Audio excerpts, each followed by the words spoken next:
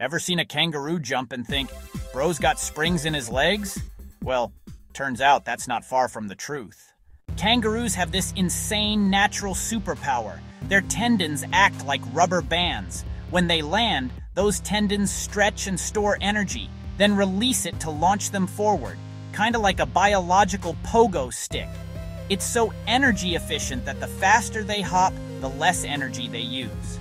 Meanwhile, I walk up the stairs once and need a nap. Scientists actually study kangaroo legs to design better robots and prosthetics, because nature already perfected the spring-loaded system billions of years before humans tried. It's not just cute jumps, it's evolutionary engineering genius. So next time you see a kangaroo bounce, remember, it's basically an Aussie superhero in workout mode.